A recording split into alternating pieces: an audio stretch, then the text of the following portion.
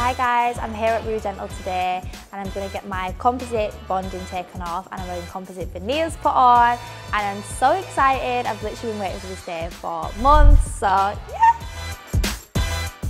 Okay, so um, Mary had Invisalign and composite bonding, was it Mary yet? Um, had them a while ago, they chipped and broken now, so great thing was Mary knew what she wanted before she came in, so I think we decided on the shapes and the colour, so we went for 10 composite veneers in the end, and hopefully we've got an amazing result. Oh my god. Yeah, I love them. Oh my god. they look so good. I'm gonna smile all the time now. I'm really, really